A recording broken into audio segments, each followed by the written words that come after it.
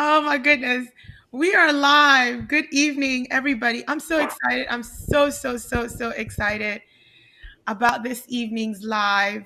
Um, uh, we have we have Osa here. Like, I'm just so, so excited that she could be a part of this series for reasons you're about to see yourself. Um, if you are watching with us live, please give us a sound check um, give us a sound check in the comment and tell us that you can hear us. That's very helpful to us. I'm always paranoid that like we're going on and on and people can't even hear us. So if anyone is here with us live right now, please do give us a comment to tell us you can hear us really well. Otherwise, I am so excited to welcome Osa on this live session where we are having the realest conversations about what this journey is like, what this process is like. I just wanted to start with you introducing yourself and letting the people know a little bit about you, please. Of course. First of all, thank you so much for that warm welcome. Aww. You're making me like so shy right now. but um, thank you so much. First of all, I just want to say, Dr. Traore, that I love what you're doing with your platform, right? Um, just having these resources as an additional like resource for students who are interested in postdoctoral training is very, very beneficial for multiple reasons that 30 minutes is not enough to really talk about. Um, it is my understanding that this is like a very informal yeah. conversation, you know, tete a tete and everything. So I just wanted to start by just giving a quick disclaimer that anything or like my opinions here today or whatever does not represent my company's opinion or that of the affiliated program. I mean, they're all great opinions. I would like to think. Yes, um, they are. so nothing bad, nothing bad, but like just to put it out there, you know, Absolutely. you have to kind of separate that. So, um, to answer your question, introduce myself. All right. So my name is Osamagbe Woghiren. I go by Osa. I am a first year doctor, uh, postdoctoral fellow at um, UCB um, within the global patient safety function. Um, basically, what that functional area does is we do the end-to-end um, patient safety, drug safety, device safety, risk management, and profiling of the company's product, right? To ensure that the patient is getting the most safe um, product out in the market. Um, it's a rotational program and it's really awesome. And I'm sure there'll be multiple like opportunities to talk about it in within this entire like talk. Yeah. But basically, um, prior to that, I got my doctor of pharmacy degree from the Notre Dame of Maryland School of Pharmacy. Yeah, Maryland.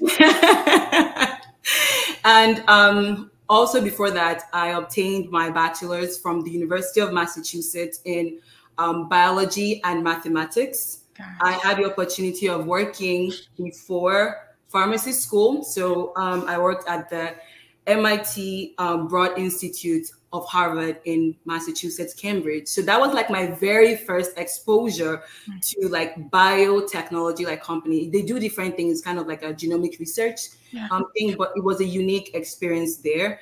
And um, I guess a fun fact or something I think is fun about myself is I am very entrepreneurial, like mindset person.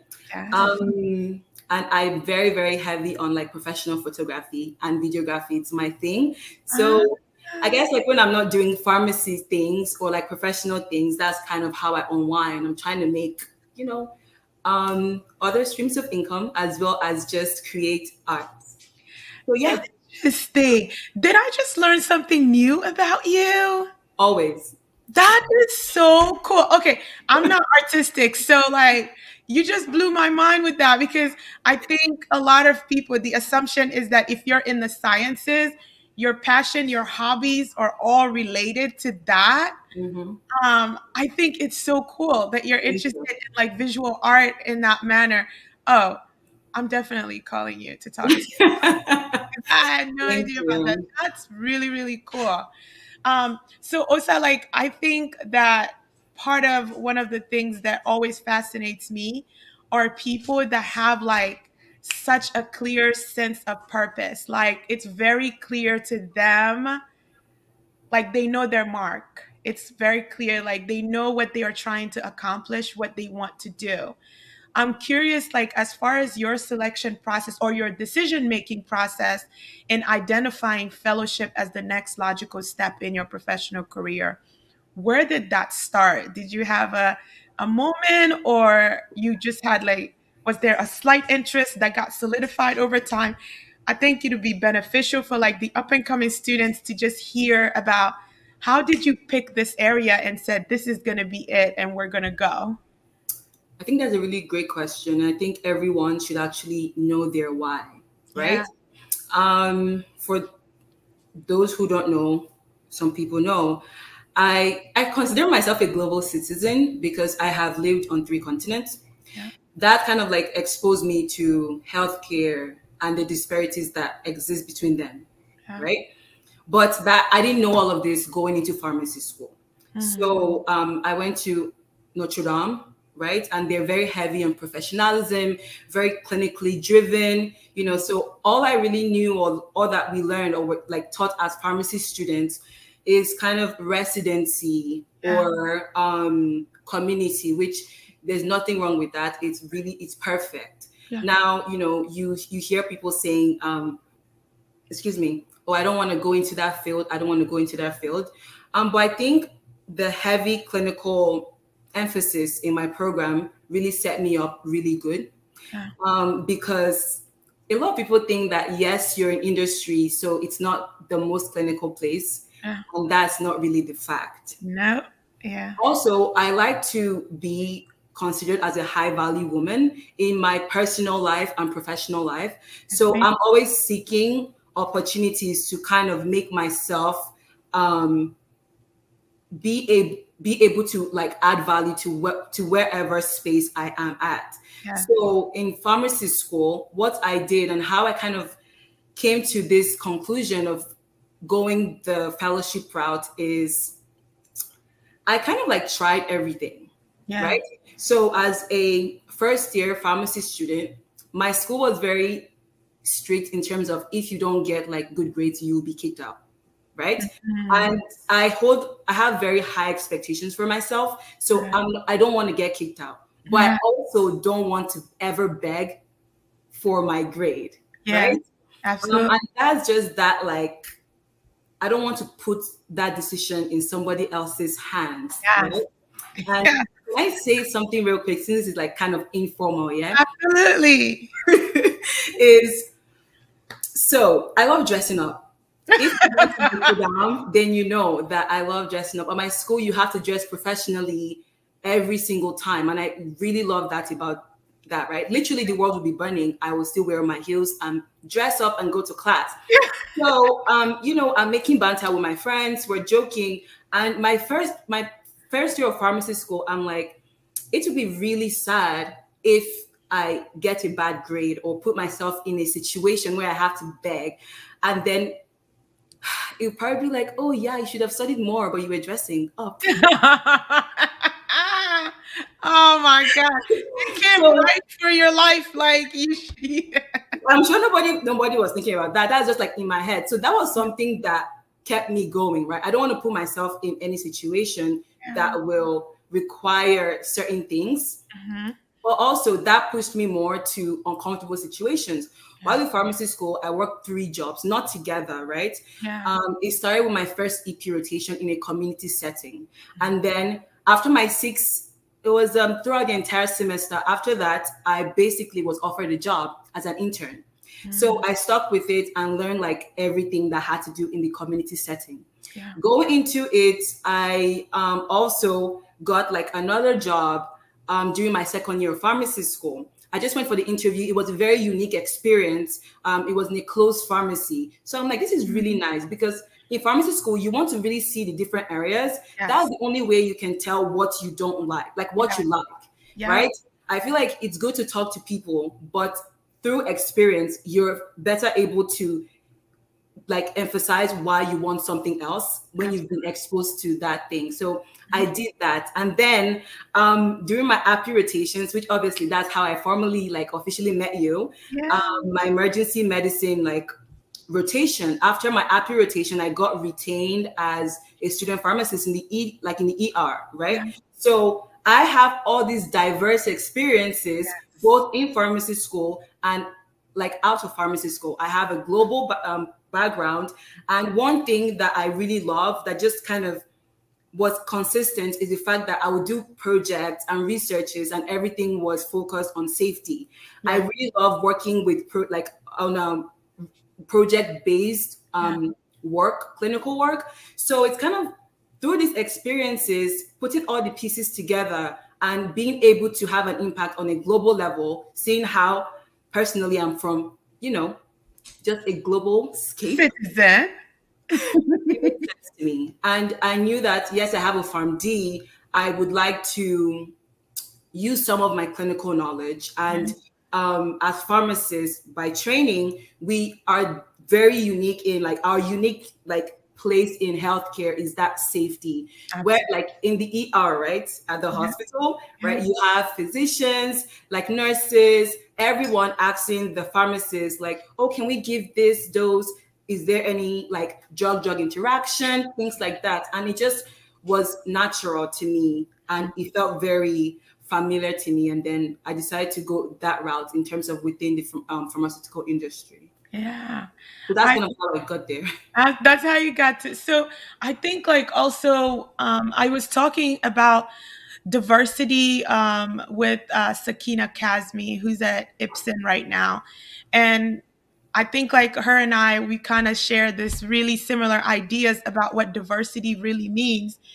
And the fact that for a lot of people, diversity, we go to race, gender, orientation, representation, but in the sciences, we have to elevate the conversation of diversity more mm-hmm. in that diversity of background, diversity of thought, culture.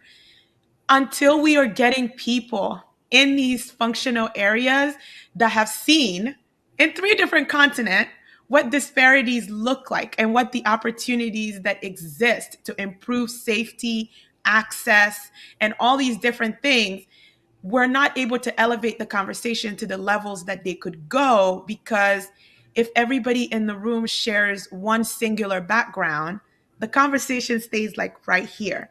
So like as you're talking like from your job experience after school to all of the things that you really you it just sounds like you didn't say no to anything.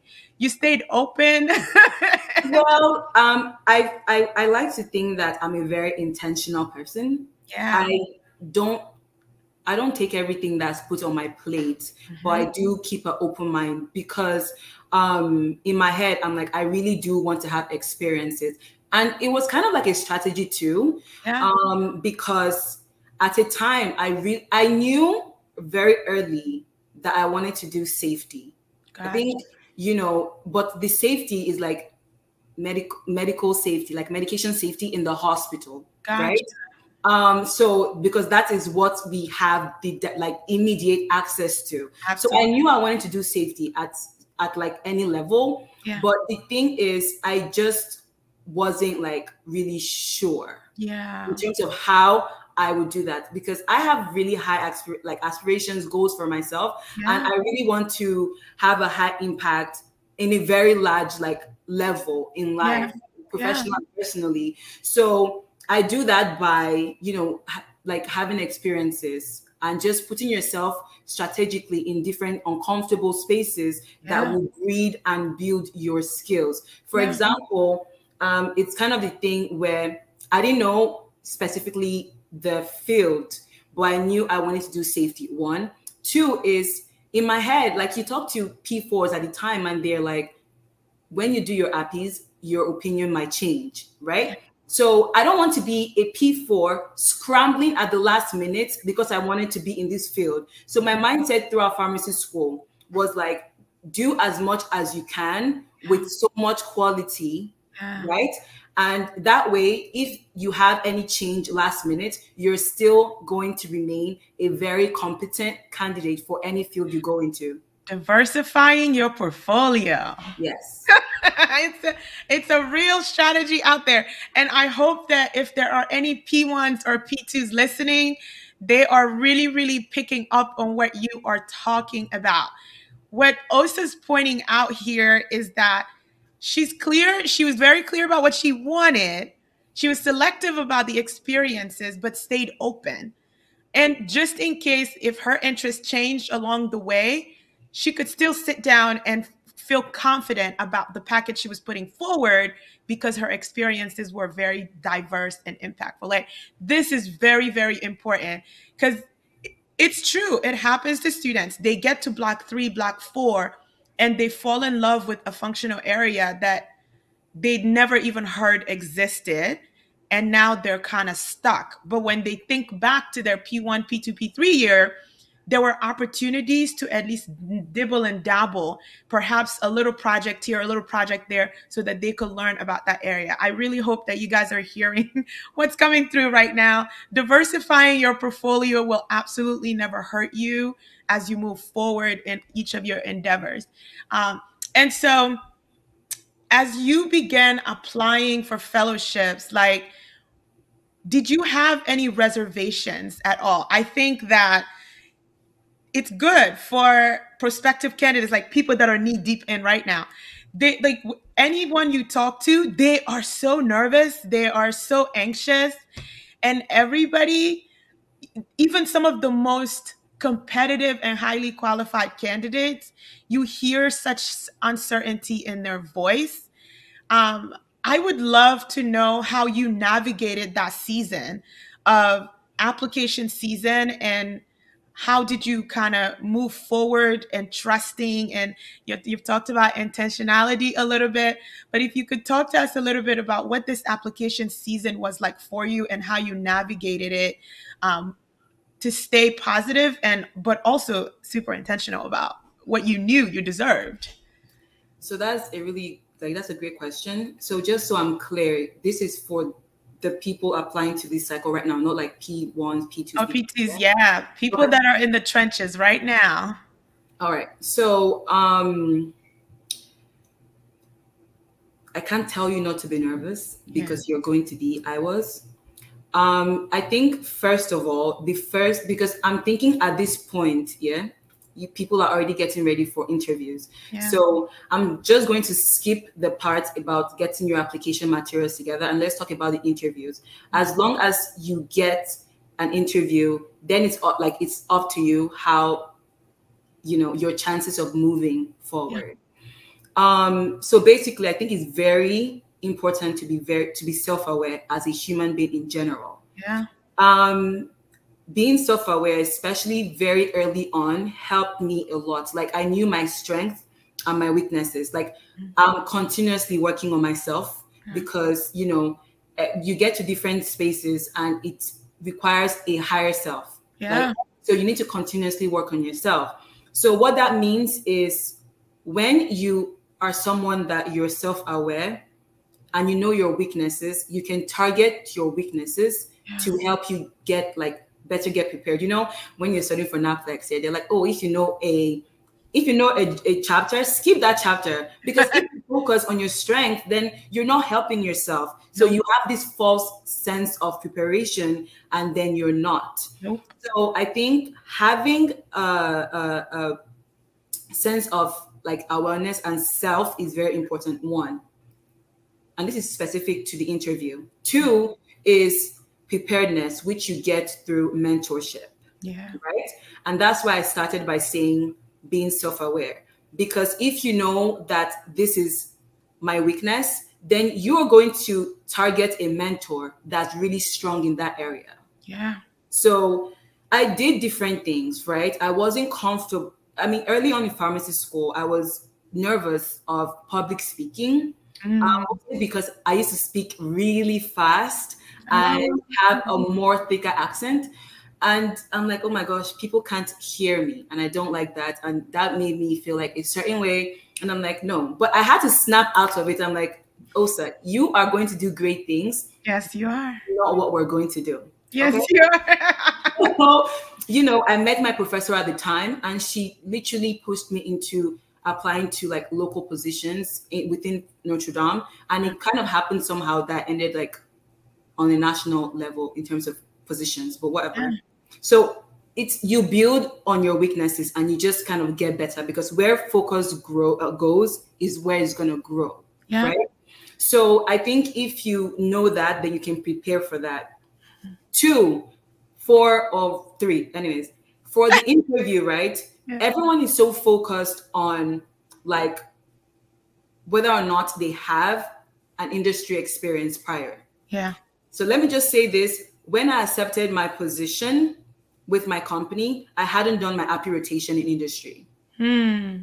So it's very important to know the value of what you have mm-hmm. and be very articulate as to why that experience, you know, um, benefits the experience, like the the position you are going to apply for. Yeah.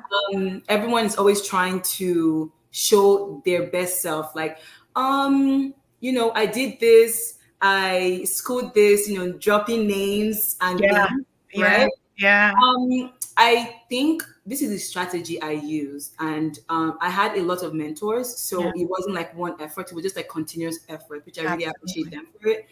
Um, when you know your value, yeah, you need to know the company, mm-hmm. and then any question you're answering, you need to bring it back to how what you're offering can benefit the company. Absolutely. So, for example, right? So, I, I, I, just a random question was like, "Oh, you know, tell me what you do outside pharmacy school." So, obviously, I'm going to say, "Oh, I'm an entrepreneurial, you know, I'm a businesswoman. I have this, this, this, mm-hmm. and I have a strong pipeline." You know, use those words, right? Yeah. Strong pipeline of da da da. Yeah. And yes, it's not clinical, but then it's I've been able to learn like how to speak with vendors or yeah. things like that, which um, it doesn't really matter like what function you're going to. Um, industry in itself is clinical and business together. Yes. So um, every answer, I'll be like, I think that is very valuable because looking at the structure of the program, the first rotation, I'm really learning the core, which in, in, like includes case processing, and then I'm exposed to like vendors or da da da. So yeah. I already have the skills that will help the team whenever it's needed. I yep. feel like don't be too focused on just showing that you're the best. Show that you're the best, but how does the best benefit the company and the team? Yes. Yes. I'm like saying yes, yes, yes. Because so, because it's the biggest, it's like you talk to people and then as as I'm working with them for interview prep, I learned that they have a full blown business that they have been running since they were undergrad. And they have, and I'm just like, why is this nowhere in the conversation? Like, about yourself. Like, how did we not come out of the gate swinging with this information first? Like, we've been here for like an hour prepping, and I'm just now learning that you have this whole thing where you mm-hmm. have skills in business plan, relationship establishment, mm-hmm. like innovative program development, sustainability development, and sustainability plan strategy implementation. Like, this is a big deal if you're going into a pharmaceutical industry, period. Uh, oh my God, that's that's really, really important.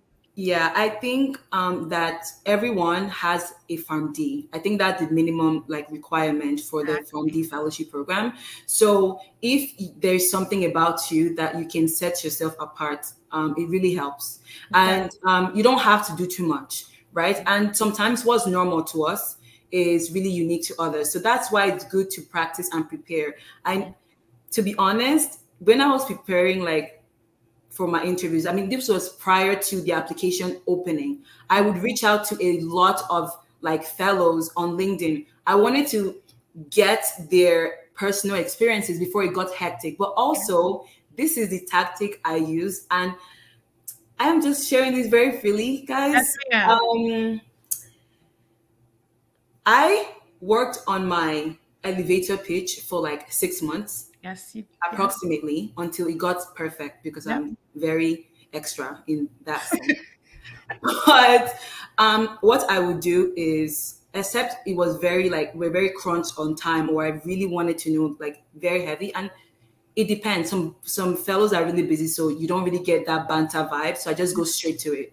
But mm-hmm. everything, every time I do, every time I, I request um, a meeting, I always start by introducing myself, and literally, I always use the same "Tell me about yourself." Yes, I use that as a tactic for more practice for whenever interviews get there. Yep. But also, I was very like, I try to read the people. Like, if I tell you, if I introduce myself in the first one and a half minutes, I will read your face. Like, what did I say about myself that you found fascinating? Like, Ooh. that they responded to. Mm-hmm. Or your eyebrows, because not everyone is like expressive and things. Yeah. So I just really look at you and I'm maintaining eye contact. And I saw like you maybe like a smile or yeah. like da da da. Then when I'm done, I literally mark it. I'll be like, okay, that was interesting. And then when I did this for like a, a month or two, and I kind of like people would respond to like certain things in my head. I'm like, that is so normal, but okay. But then I added that, you know, that particular, you know, part of my tell me about yourself to my like introduction during my interviews. Yeah. And I mean, it's true because you've you've known yourself your entire life. So you can be doing exceptionally well and so unique in so many ways. Yeah. and you're like ah that's just osa. But then if i tell you that oh so i do this you're like okay. Yeah. That's that's one way there's such a thing as being overly modest it could hurt you like what you're saying as that everybody has a PharmD and this takes a little bit of time and getting prospective candidate to elevate their mindset to realizing like where they are, like the arena that they are now in. Everybody is going to meet the entry level requirement. PharmD from an accredited school of pharmacy, GPA cutoff, whatever the whatever XYZ. Everybody that's getting an interview offer has kind of made it through that entry level. You are now at the stage of thicking things up a notch. Mm-hmm. That only happens with individuality and a very clear, and I mean like crystal clear ability to articulate with absolute certainty what makes you different, what makes you an asset, what makes you a fit, what you contribute to the company. Everybody prepares so much to come and tell the interviewer how the company is super awesome and everything the company is going to do for them. And I'm constantly just like, okay, that's great. You know them. You've done the work. You know them very well. How do we make sure that they also get to know you and know you very well? So it's like everything you're talking about just goes right to the heart of that case. And I hope someone who's watching this can really get to benefit from this. I really want to get to like this thing about you because I'm so excited about your recent announcement mm-hmm. your recent announcement on LinkedIn for a promotion. tell us, please tell us what just what just happened for you um, and what this means. Um, and I'm just excited. I was like, I need to learn more about this, but I'm gonna wait to learn with everybody at the same time. Oh my gosh. First of all, thank you so much. Um, for those that don't know, so my program, UCB, um, that's where I'm having my postdoctoral fellowship right now. First of all, the applications is already open. Yeah. The deadline is October 24th. Okay. It is the best like program ever, literally. Like, and I said this is my opinion, yeah. So um they really do a really great job. And please, anyone can reach out to me if they need more information. Do that. Um, all right. So it's in conjunction with the IPhO, okay. um, you know, organization, right? Um, when I started the fellowship, I started the fellowship as a DEI co-lead, and my co-lead um, what partner. Is, what is DEI? P1's in the house, P2's in the house. What is DEI? um, okay, so basically, it's um, diversity, equity, and you know, um, equality, basic, um, increasing access. Because yes, you may know, you may not know, but the pharmaceutical industry is really not the most diverse. Um, space for people of color right now. And I really love the fact that IPhO is um, focusing so much on that and to make like resources to yeah. support people of color that want to um, pursue a pharmaceutical industry pathway at, as their career. That's so um, I started that position before I actually graduated pharmacy school. Yes, ma'am. so basically, the gist is I was already working um, as a fellow before I got my PharmD. Of course, because you you are that boss. Of, of course, um, you are. well, let me just say, I was uh, my co-lead partner, Kevin Darko. He's awesome. Um, we did like we worked together from February until until well my recent promotion, and obviously it's very important to have someone who sees the same passion and has the same drive to to make results. Um, anyways, um, what it means now is I have been promoted to a, co- a, a co-chief fellow for the entire National Fellow Council. Yeah. And how that happened was um, it wasn't something I applied for. It came to me because, as I would like to say, and very humbly, I might I have to add, um, my name came up because of the quality of work I have done with the project being, you know, one of the co-leads for DEI. Very so um, I was approached about that position and I kind of thought about it really hard because as a fellow, I also want to be able to have a high impact in my company. Yeah. But I also there are a lot of things I want to do that is very important. Like it's good to want to get things, but sometimes it's just perfect to give, right? Yeah. And as a mentor, yeah. um, through the IPhO and at a higher level, yeah. I'm mm. able to do that. And what does that mean for you or me professionally? Is that for you to be a mentor, you need to kind of know something better to be able to transfer that knowledge, whatever that is, to somebody else. And that actually goes to my one of my goals as a professional and personally to kind of be a high value person. Yes, ma'am. Right? And I want to inspire people. I want to show people that you can have a completely normal social life. I don't know if my friends will agree with this because um, you know, you I can love, I love how self-aware you are. Like this is playing out in real time. I just I am enjoying this to no end. It's like I don't know if my friends would agree, but this is what I'm seeing. So um, um, I really love what they do, and with that position, I'm able to, with the rest of the team, foster and create a more stronger like fellow community, right? Yeah. Um, IPhO, like you know, we have the bigger um, fellow like um, what's it called programs, and they have a stronger network. But yeah. also, you have fellows that are in standalone companies, right? Or they're from small schools like myself. Yeah. You know, not everyone went to like a HBCU. I know I didn't. And I know that I had to go out there, put myself um, in uncomfortable positions to learn and kind of develop myself in certain ways. Yeah. And I want to do that through this position with my coaches. So, um, how that works is, you know, we just build networking, right? We have webinars, we have development um, opportunities, professional development, really. And that when you're, I feel like when you're professionally developed, it's it kind of it goes through your entire life, like yeah. your personal life and everything. So I can go through the entire list, but basically the goal is to kind of build and foster a stronger community of like strong and well-connected um, network of strong farm um, industry pharmacists. I and that's it. my goal, you know, in future. I want to be one of the best in the field of um, industry, like within pharmacy um, profession. And I know I, am going to be. So I want to be able to have that impact on people that coming up because people that were that came before me really helped me through yeah. supporting me by yeah. mentorship, and I want to give back. I love it.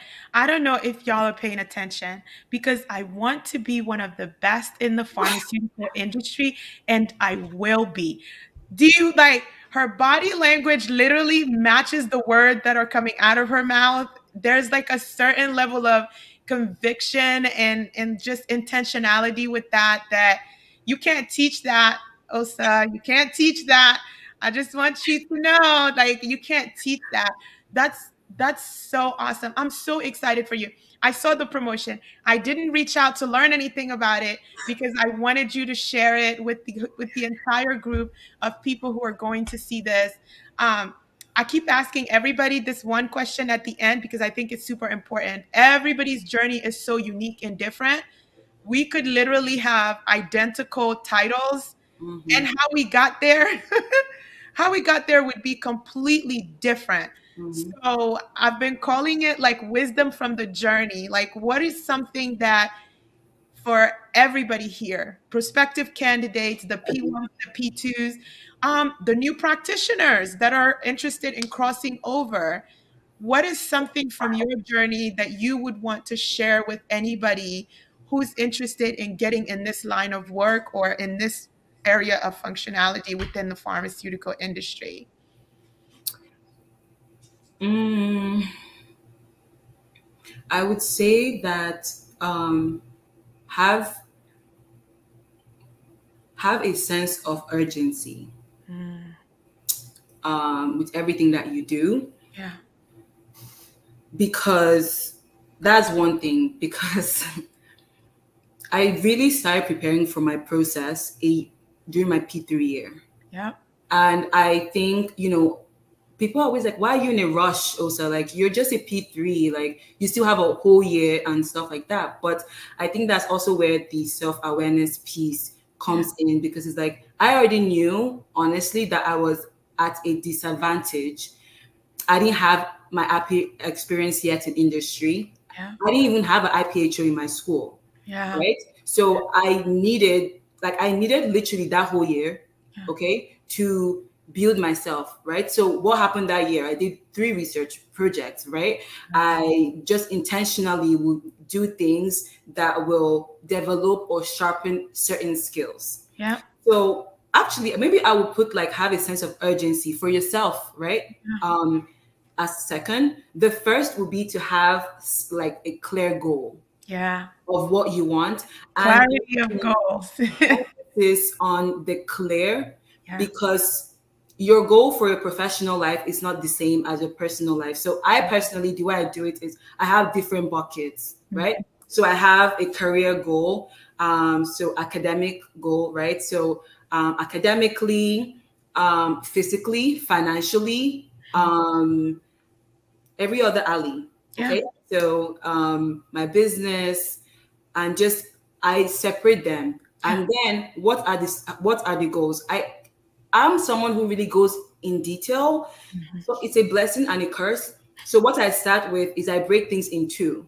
So what are my two major goals in each bucket? Yeah. And then I Google a lot. I do a lot of like research. Yeah. So what are the skills I would require to meet said goals? Yeah. And then which of them am I liking? Like which of these goals, which of these skills do I that I need to get these goals am I lacking in? Yeah um, by doing that, I'm able to kind of like uh, do like a targeted therapy, if you want to call it. you and your analogies, I'm done. you know, because oh, let me do another one because also you don't want. Sometimes the rate limiting step is you. It's you. It really is you. So, your mind, you don't know if you want to go or stay. Mm-hmm. if you're about it or if you're around it. Mm-hmm. rate limiting step is really and truly you. That's a fact. Exactly. So when you know the skills you need to get to your goals, mm-hmm. then you see, oh, I, I'm strong in this, I'm strong in this, I definitely need this. Then you can start from there. I think just breaking things into buckets um, really helps. Yeah. You know, because when you work on you, I think people just want to work on you. If you work on yourself, you get better every day and you become your you kind of have more value to add to your personal life, to your yeah. friends, to your mm-hmm. company. And I'm very like I think futuristically, mm-hmm. I wouldn't want to, you know, hassle for like jobs when nope. I'm done with my fellowship how do I keep that energy is I always try to keep on developing myself because if my company or ever or anyone's company or like if you're in a place where your company know they know your worth, mm-hmm. they will never let you go. No. That and that's it. Like it doesn't really matter what the economy is saying right now. The entire market is crashing. okay. Um, you know, but if you you kind of work on yourself to have high value to support the team yeah. um, i think it will be very good and lastly lastly, I think this is very important is I know people say work smart and not hard. Um, no. Speak on it. Please speak on it. Please so, speak on it and speak on it in great, great detail. Please. Um, I think that I'm in a very, I'm in a very like a formative years of my career. Like I'm a young professional, so I'm not in a place yet. Like I have a lot of things I want to do. I'm not in a place yet where I can work smart. And really, you have to work hard to learn how to be efficient enough to work smart. So, it's a place you get to, people. It's it's not a place you just wake up and right. style. It's exactly. a place that you get to. Oh my mm-hmm. God. So um a lot of times people are like, I, I, would go off social media for like extended period of times. I would go like MIA because I really need to focus on certain things. And I try my best to like communicate with people around me. Like, you know, I'm, I'm trying to focus on certain project and I just need like on my undivided attention to be given to this. And I think um, people just think that, well, you're working too hard. But sometimes it's it's called like growing pains, right? But it's like deliberate um, extremes. You have to be deliberately extreme sometimes when you're really young in the phase where you want to be so that way you really learn the core of the knowledge and then you gain and build skills that will make you more efficient. And then later in life or later maybe like three two years or whatever you'll be chilling because you'll be working efficiently and working smarter with the same quality yeah. right? Um, but when it comes to what when you're learning like in pharmacy school. As a fellow, yes, you have a fellowship, but you still want to put your head down and really learn the work. So when you're really practicing, your the work you're doing is quality. It's not really about the amount, the quality of the work that you do. Absolutely. So that's that, what I have to say. That, that's like so many gems you dropped there. Like it's work smart and not hard. And I'm always like, no, that's very dangerous advice for students that's very dangerous advice for new practitioners. It's dangerous advice for people that are in those formative years and developmental phases of their professional career. Mm-hmm. Working hard does not kill anybody. Nope. It builds character. You're learning, you're growing, you're in an uncomfortable space, the outcome of which, in my personal experience, is never been negative. The outcome of my hard work has always led to something phenomenal at the mm-hmm. end of it. So I am with the group that says working smart and not harder. It's a place that we get to. It's not mm-hmm. just because I've, i see somebody who's been in a clinical specialist for 10 years working smart, not hard. And I'm in my first two years as a clinical specialist. And I believe like I'm also there. No, ma'am. No, ma'am. No, ma'am, you're not. no, ma'am, you're not. Like it's a place that you get to. And it, it comes with a lot of hard work, mm-hmm. sacrifice, and you find yourself having to explain some of those decisions of why this is where my focus is right now and not that. But ultimately, your friends, your true friends who know you and respect you, they they will respect those boundaries mm-hmm. if the, you just need to be left alone right now to focus on this one thing because you're headed somewhere. Yeah. Uh, I am so you don't have, you know. Yeah and you you you're able to pour more if yeah. your cup is filled. So your you need to focus on filling your cup so that way you can fill mm-hmm. others, and your your people will love you more if you have more to offer, and that's just it. That's just it. It's it's it's really true. Um, I'm putting something out into the universe right now, but let's say when the Hunger Games is all over and whatever, I want to reconnect again. conversation, this conversation's gotten so good. I'm working on a group of people that I want to reconnect with and have alive for all of the brown and black sisters that are going to be going through residency interviews in January and February about showing up in their truest authentic selves and I want them to hear from some women that are truly unapologetic and how they show up in their professional lives every day to kind of encourage them. It's one thing to hear from one little person, but if you have a panel of women that are living in their truest authentic self day after day and they're telling you it's going to be okay, there's a certain level of assurance that comes with that. Um, so, this is not the last of me you've seen or heard yet, ma'am. Thank, Thank you, so much. So much. I really appreciate the opportunity, right, to um, give back yeah. and also just share my journey and things like that. And I'll obviously be very happy to join you in the future um, and help other people. Yeah. Be, you know, coming up. So, yeah. Absolutely. Thank you so much, Osa. Osa's um she says her LinkedIn inbox is open, guys. I would say blow that thing up. Um, be mindful that she is a fellow, so her schedule could be hectic, but be mindful, um, be respectful, and kind of just reach out. You're never going to know who has something to contribute to you if you're so afraid of rejection and never take that step to just reach out. Um, I, I want to encourage you to reach out to a lot of the people I've talked to this week. Everybody's just super open to you reaching out. Don't don't be so scared of rejection that you miss an opportunity for some really invaluable mentorship that you can get, whether you're in the beginning of your pharmacy career or you're a little bit more further along. Thank you so much, Osa. Please have a wonderful rest of your evening. Thank you. Bye, Bye, honey.